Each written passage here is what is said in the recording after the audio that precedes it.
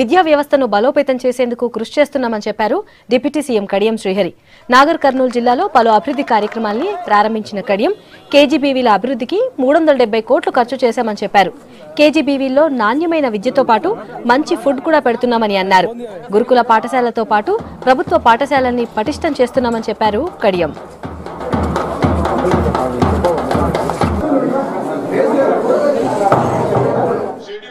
Schedule తెగలు బీసీలు మైనార్టీలు ఎక్కువగా ఉన్నారని భావించి దేశంలో ఏ రాష్ట్రం కూడా సాహసించని విధంగా ఆలోచించని విధంగా ఈ మూడు సంవత్సరాల కాలంలో తెలంగాణ ప్రాంతంలో ఐదు వందల నలభై నాలుగు కొత్త గురుకుల పాఠశాలలు ప్రారంభించిన చరిత్ర తెలంగాణ ప్రభుత్వాన్ని తీసుకుంటారు ఇవాళ మొత్తంగా పాత కొత్త కలుపుకొని మన తెలంగాణలో దాదాపుగా ఎనిమిది వందల నలభై గురుకుల పాఠశాలలు ఉన్నాయి.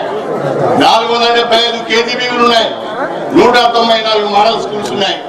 దాదాపు ఎనిమిది లక్షల మంది పిల్లలకు ఇవాళ నాణ్యమైన విద్యను మన ప్రభుత్వ గురుకుల పాఠశాలలో అందిస్తున్నాం. ఒకవైపు ప్రభుత్వ గురుకుల పాఠశాలను పెద్ద సంఖ్యలో ఏర్పాటు చేస్తున్నాయి. ఇంగ్లీష్ మీడియంలో రెసిడెన్షియల్ సిస్టమ్లో నాణ్యమైన భోజనం నాణ్యమైన విద్య అందిస్తున్నాయి. మరొక వైపు మన ప్రభుత్వ పాఠశాలను కూడా పటిష్టం ప్రయత్నం